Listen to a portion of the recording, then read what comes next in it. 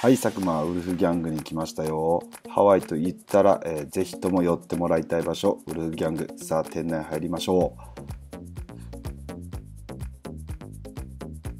まずね、えっと、グリーンサラダを頼みました。やっぱサラダは最初頼んだ方がいいですよね。さて。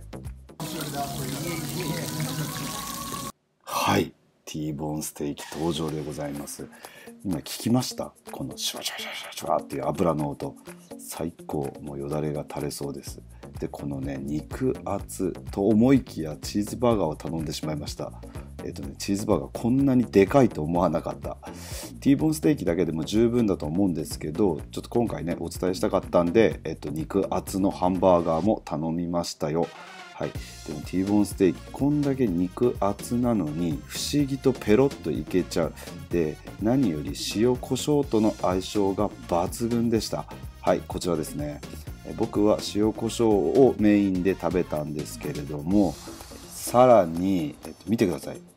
こんな肉厚なのにサクサクナイフが入るんですよ。それぐらい、えっと、柔らかいということ。それとあとこんだけ一口で食べても全然問題ないぐらい肉は柔らかいですよ。